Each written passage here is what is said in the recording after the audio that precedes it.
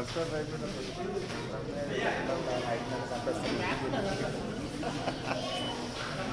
జీవిత గారు రండి. శివ ఎక్కడ? శివ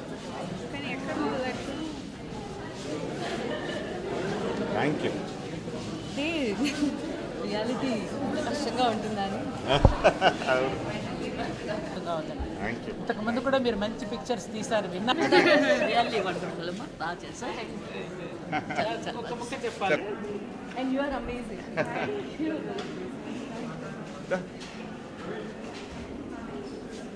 మళ్ళీ ఒకసారి silence thank you sir thank you so much Thank you. నాకు ఇన్వైట్ చేసినందుకు. యాక్చువల్లీ సినిమా చూద్దు రండి అన్నారు కానీ ఏడిపిస్తారని నేను అనుకోలేదు సీరియస్లీ కానీ ప్రేమగా ఏడిపించారు.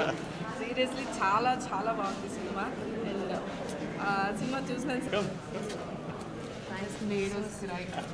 వెరీ గుడ్ భరించడం చాలా కష్టం. అంటే మాటలు కూడా రావట్లేదు sir. Brilliant. I'm nobody to even